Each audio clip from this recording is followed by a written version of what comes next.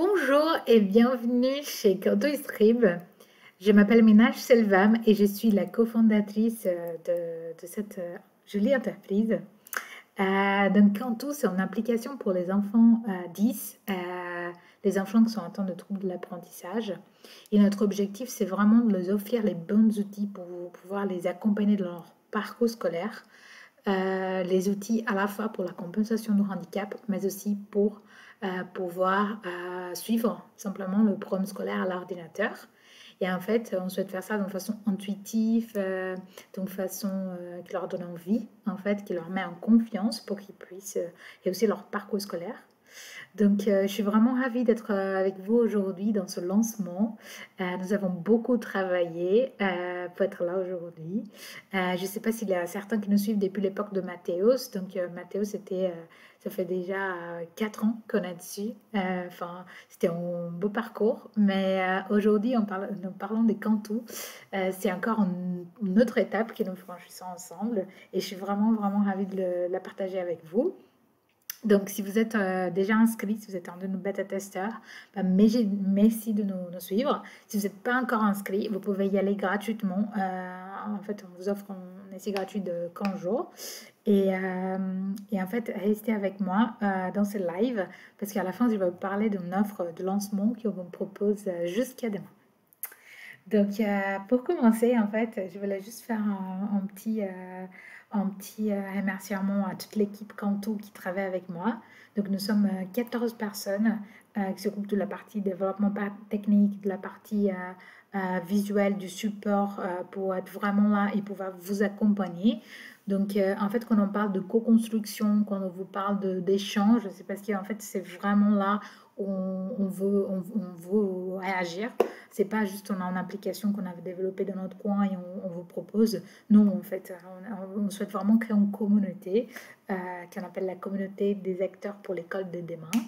Donc, euh, euh, rejoignez-vous, nous, euh, venez dans notre groupe Facebook, testez l'application, donnez-nous votre retour, en quoi on peut s'améliorer, qu'est-ce qu'on peut ajouter pour justement pouvoir aider nos enfants 10. Donc, merci d'être là. je vais maintenant vous présenter rapidement l'application et j'espère que ça va vous plaire.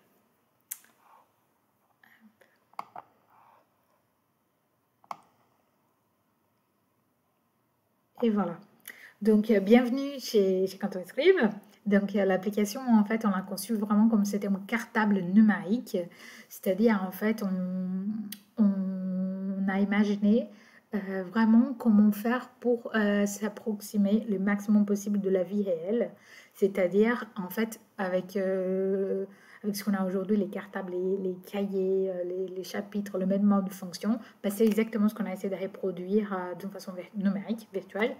Donc là, euh, nous sommes sur, l'écran principal de l'application, ce qu'on appelle l'écran cartable.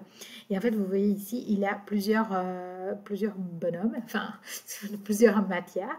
Donc a les mathématiques, physique, chimie et tout ça. Et en fait, nous pouvons ajouter une nouvelle matière simplement en cliquant sur, sur un bouton ce qui, euh, ce qui peut euh, vraiment faciliter la vie. Donc si l'élève, par exemple, il souhaite, euh, il souhaite customiser, on peut son cahier de la façon qui le, correspond. Donc là, je vous demande un petit peu de patience parce que j'essaie de m'en sortir avec ces outils.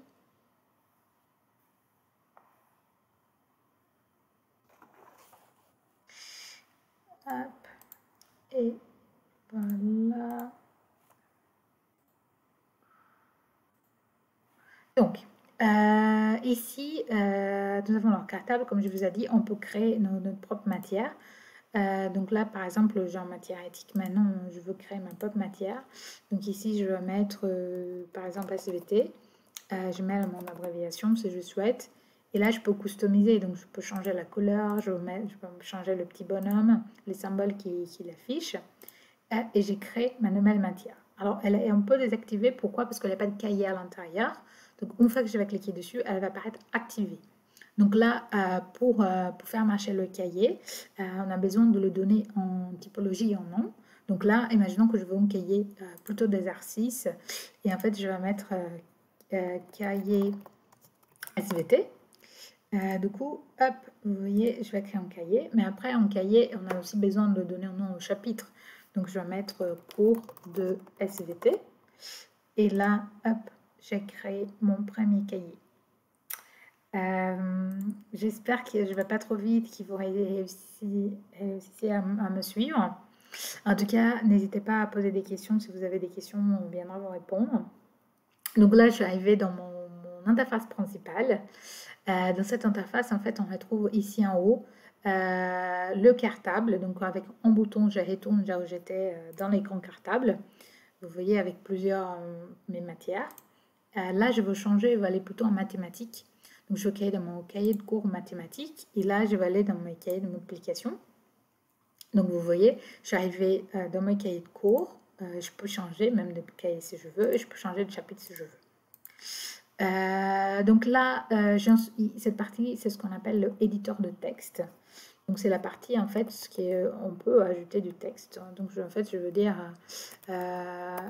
ici mon cahier de multiplication. Et en fait, j'écris du texte et avec euh, ces outils-là, avec ces crayons, je vais pouvoir customiser ce texte. Euh, par exemple, en mettant des styles différents, en mettant des couleurs différentes, en mettant gras, italique, tout ça, en faisant zoom, tout ça. Je peux aussi choisir d'ajouter, par exemple, des images. Donc là, on va faire ensemble. Je vais ajouter juste une jolie image pour qu'elle pour soit là avec nous. Euh, par contre, ah, j'aime pas cette image, si j'ai pas ajouté la bonne, je veux la supprimer. Bah, je peux, euh, je peux aussi la supprimer.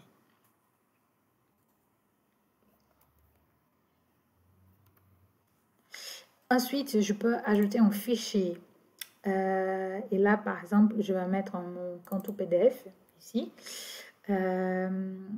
et ça charge, ça charge, ça charge. Euh, il est apparu là. Donc en fait, je vous attire l'attention de l'intérêt de ça, c'est justement, euh, ça permet de faire la gestion de vos fichiers, parce que ça peut paraître quelque chose d'assez facile, mais en fait pour un enfant qui dit qu'il y a des problèmes d'organisation, ça peut être compliqué de gérer tous ces fichiers, qu'on peut avoir des feuilles volantes, euh, des fichiers par-ci par-là, et, et, du coup ici, ça nous permet de recentrer tous ces fichiers. Donc en fait ici, je vais ajouter bah, que c'est mon compte PDF, et ici je peux mettre un petit mémo en disant euh, fichier qui contient euh, mon compte PDF. Comme ça, je sais quand j'aurai besoin de retrouver, qui ce fichier se retrouve à l'intérieur de mon cahier, donc multiplication de matière mathématique qui est dans mon cartable. Donc l'idée, c'est vraiment faciliter la gestion de fichiers par les enfants. Euh, donc, une fois que mon fichier est là, euh, une fois que je vous ai montré cette partie d'édito de texte, on va découvrir justement la partie la plus intéressante. C'est la partie avec les plugins. Euh, et en fait, c'est des outils qu'on a, mis à disposition. Donc, déjà, je vous présente ça, c'est qu'il a trois typologies de, enfin, il a deux typologies d'outils. La première, c'est des outils d'adaptation d'aide pour les textes. Par exemple, on peut adapter le texte, on peut faire la lecture vocale, la dictée vocale, mais il y a aussi des outils euh, très pratiques ou pratiques pour euh, les aider à l'ordinateur, comme par exemple dans ce cas-là, les opérations et le PDF. Du coup, si vous cliquez sur ce menu euh, ici qui apparaît, à votre droite en haut, en fait, vous, vous voir qu'on peut contrôler en fait tout ce qu'on veut afficher du côté gauche et tout ce qu'on veut afficher du côté droite. Donc là, nous sommes dans mon cahier de mathématiques. Donc je vais vous activer mon... Je vais simplement cliquer ici, je vais activer mon cahier de mathématiques. Et vous voyez ici, il a les plugins opérations qui va s'ouvrir. Euh, et en fait, nous parlons de chapitre multiplication. Donc ce que je souhaite faire, c'est en multiplication. Donc je vais venir ici euh, et je vais euh, ajouter en chiffres, euh, enfin, vraiment ce que j'ai envie d'ajouter. Et avec un bouton, je transfère dans mon cahier.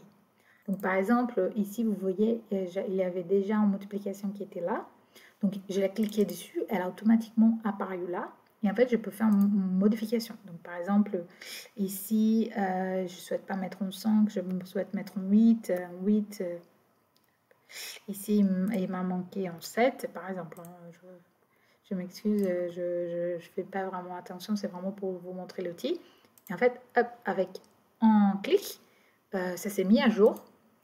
Et vous voyez, la modification se fait à l'intérieur du cahier. Et ça, c'est vraiment un avantage pour les élèves. Pourquoi? Parce qu'en fait, ils n'ont pas besoin de faire une capture d'écran dans un autre logiciel qui vienne coller dans leur éditeur de texte. ce qui est compliqué en fait qu'il y a besoin de modifier. La modification se fait enfin, à l'intérieur du, du, cahier. Euh, et, voilà, l'idée c'est que ce soit pratique pour l'élève.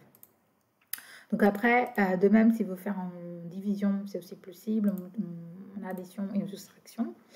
Euh, nous, on travaille sur les deux méthodes de soustraction. Pour l'instant, il y a déjà un qui est disponible. Nous sommes en train de finaliser les douzièmes, mais elle est en train d'arriver. Et après, je le dis, ce sera toujours pareil avec un clic, ça s'affiche dans les cahiers. Euh, ensuite, euh, je vous ai montré euh, les mathématiques, mais en fait, il y a aussi un autre outil assez intéressant ici, c'est le PDF. C'est-à-dire, en fait, je n'ai pas besoin d'avoir un logiciel à part qui ouvre les, fichiers, les PDF, mais que du coup, c'est dans un autre écran et du coup, je ne vois pas les deux en même temps. Ici, l'avantage d'avoir cet écran partagé, c'est que je peux vraiment avoir mon énoncé, par exemple, mon manuel scolaire et en même temps prendre mes notes. Donc, euh, on va ajouter un PDF. Donc là, par exemple, je vais mettre compte au PDF. J'importe simplement.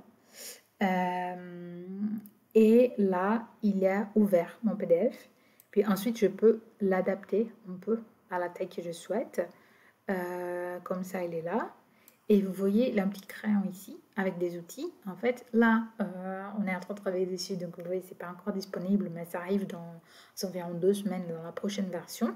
Donc, en gros, on pourra écrire et annoter son PDF. Donc, là, un outil pour écrire du texte, il a un outil pour ajouter des figures géométriques, pour mettre des checks, euh, voilà. Donc, vous pouvez aller faire, faire ça directement ici. Et hop, dans un clic, vous pouvez additionner euh, ça dans votre cahier de ce côté-là. Et l'idée, c'est vraiment ici, euh, je suis là et je vais mettre par exemple guide de utilisation. tout. Euh, et euh, tout ce qui se trouve dans le PDF. Je vous donne des exemples. ensuite, il y a quelque chose d'assez intéressant, c'est l'adaptation du texte. C'est que nous parlons assez souvent de, des élèves dyslexiques, donc qui ont des difficultés de lecture. Ah, donc comme vous voyez, ici j'ai ajouté un peu de texte, ici j'ai ajouté un peu de texte. Et en fait, j'ai un moyen de customiser ce texte. C'est-à-dire, euh, ici vous voyez, j'ai l'option de changer la police, l'espacement, les syllabes, la colorisation. On va commencer par la colorisation, parce que ce qui, est, ce, qui est, plus intéressant. Donc en fait, euh, je peux changer les couleurs, la colorisation, soit par mot, soit par syllabe, ou soit par son. Donc là, vous voyez par mot, nous avons vraiment tous les mots euh, de la même couleur. Et en fait, je peux même ajouter des couleurs différentes, autant de couleurs que je veux. Euh, et je peux juste avoir deux couleurs, si j'ai envie d'avoir deux couleurs. Je peux ajouter un troisième. Et je peux faire la même chose pour les syllabes. Je peux ajouter autant de couleurs que j'ai envie euh, pour que ça facilite la lecture par l'enfant. Euh, ensuite, il y a quelque chose d'assez intéressant, c'est que je peux euh, aussi faire une colorisation par son. Donc vous voyez, il y a des sons, par exemple euh, le E, qui sont difficiles à être, à être prononcés, parce qu'en fait, enfin, écrire, parce qu'en fait, on les prononce de la même façon, mais on les écrit différemment. Et pour un enfant dit, ça peut être assez difficile. Donc en fait, ici, je peux venir mettre une couleur donc, par exemple, je veux du marron pour euh, toute la, phonétique E. Et en fait, dans mon texte, à chaque fois qu'il y a du O, ça va apparaître. Euh, bon, c'est dommage, je ne l'ai pas ici. Mais par exemple, si je mets... On va mettre élève. Vous voyez le... Enfin, je vais mettre une couleur plus... Je puisse bien voir l'écran. Euh, si je mets éléphant...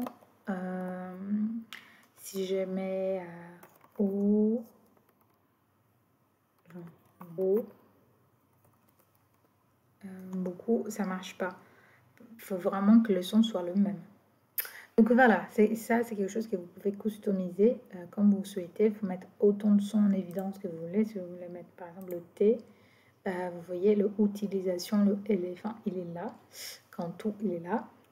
donc voilà, ça permet de vraiment venir customiser. Vous pouvez aussi, vous voyez, j'ai mis de, un certain espacement là entre ces, mots. Donc en fait, je peux venir baisser cet espacement.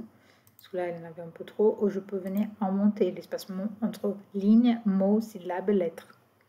Donc là, je veux arrêter tout et je vais laisser uniquement entre syllabes. Comme ça, j'ai euh, séparation uniquement sur mes syllabes. Et en parlant des syllabes, on a une option syllabes où en fait on peut ajouter un séparateur si on souhaite pour faciliter la lecture. Euh, donc vous voyez, ça c'est simple. Je veux pas de séparateur, j'arrête le séparateur. Je veux revenir sur la taille de, euh, enfin sur mon espacement. Et enfin, je peux aussi changer la police en mettant quelque chose de beaucoup plus important. Donc, vous voyez, l'élève va pouvoir vraiment customiser le cahier comme il le souhaite. Euh, de plus, euh, il y a les outils de facilitation vocale, c'est-à-dire la lecture vocale, comme vous voyez. Et en fait, l'idée, c'est, hop, je viens dans ce plugin, j'active donc, vous voyez, elle est activée, il y a euh, ce, petit bouton vert qui apparaît. Si je vais cliquer dessus, euh, là, vous ne pouvez pas entendre à cause de l'enregistrement.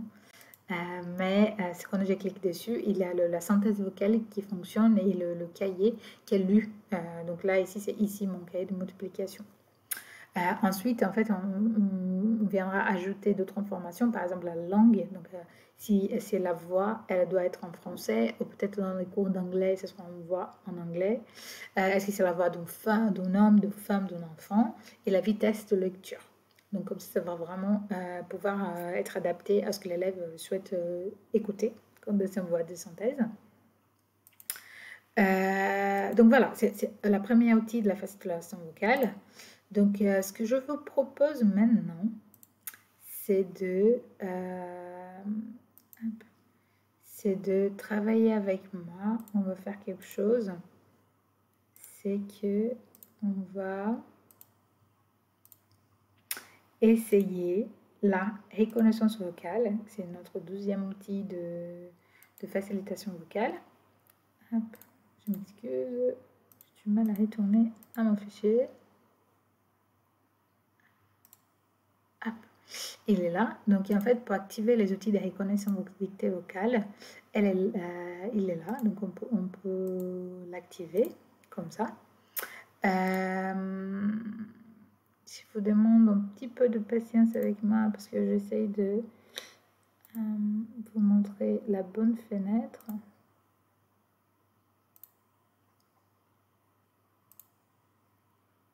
Voilà. Ah, donc vous voyez, je suis venue dans un autre cahier ici. Euh, pour l'instant, je n'ai pas encore créé euh, des matières. Donc là, je vais créer ma première, mon premier cahier de mathématiques. Donc je vais un cahier de cours, un cahier de maths.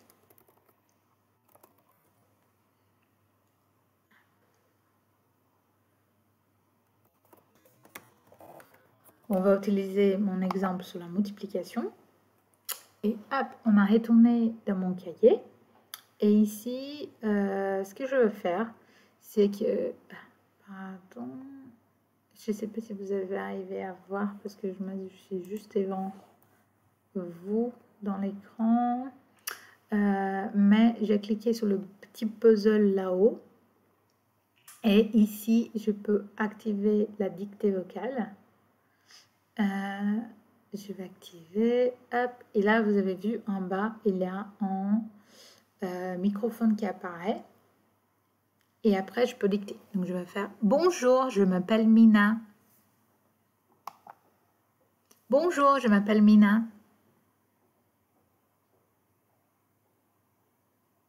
Ouais. En fait, il ne faut pas marcher parce que comme je suis connectée avec vous, euh, ça ne fonctionne pas de la même façon la capture de, l'audio. Mais normalement, quand je dicte quelque chose, bah, ça fonctionne. Et, euh, et, le texte, il est écrit. Je suis en train de dicter et, il est en train d'être pris en charge.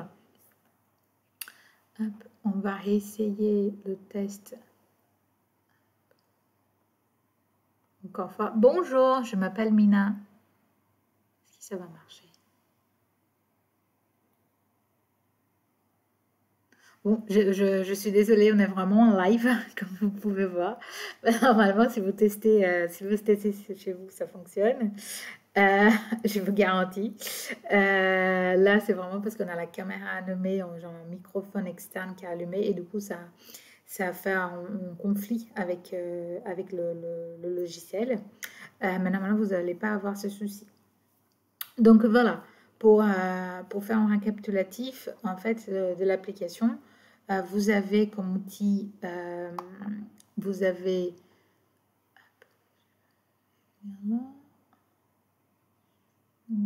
ça. Vous avez l'adaptation du texte, je vous ai montré. Vous avez la lecture vocale, la dictée vocale, les opérations et les PDF.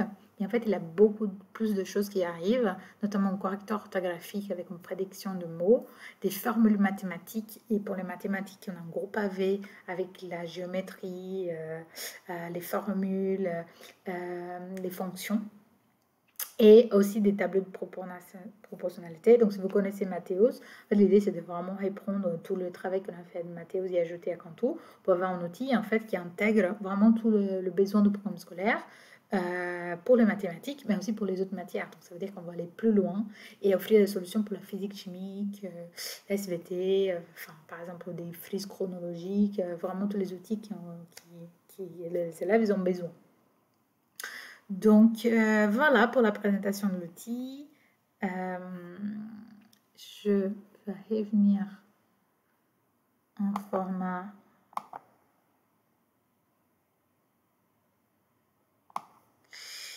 un format plein écran pour pouvoir vous parler d'une façon plus proche. Donc en fait, euh, merci de nous avoir suivis jusque-là. Euh, en fait, nous travaillons vraiment pour que le logiciel soit utile, c'est le plus important pour nous. en fait, je suis convaincue qu'ensemble, on peut changer les choses. Avec les bons outils, c'est plus facile. Donc, en fait, nous sommes ici pour euh, vraiment euh, construire ensemble cet outil avec vous et pouvoir, en fait, véritablement offrir une solution qui correspond aux besoins des enfants 10. Donc, voilà, on vous laisse pas seul, on vous accompagne sur tout ça. Suivez-nous sur cette aventure. Elle a encore beaucoup de surprises euh, qu'on prépare. Euh, donc là, pour le lancement, jusqu'à demain, vous avez une offre de lancement avec un, tarif vraiment avantageux de moins 50%. L'application revient seulement 7 euros par mois. Euh, ah, et si vous avez plusieurs enfants, euh, ça peut venir à 2 euros par enfant. Donc, euh, n'hésitez pas à la tester, en tout cas à nous dire si, euh, elle correspond à votre besoin. Euh, si ce n'est pas le cas, revenez vers nous quand même, donnez-nous un feedback pour qu'on puisse améliorer et vous proposer quelque chose qui correspond vraiment aux besoins. J'ai quelque chose à vous rappeler, c'est que l'application peut être prise en charge par la MDPH dans le cadre d'un dossier de, de PAP, plan d'accompagnement personnalisé. Donc, voilà. merci d'avoir été là avec moi. Je, vous dis à très bientôt.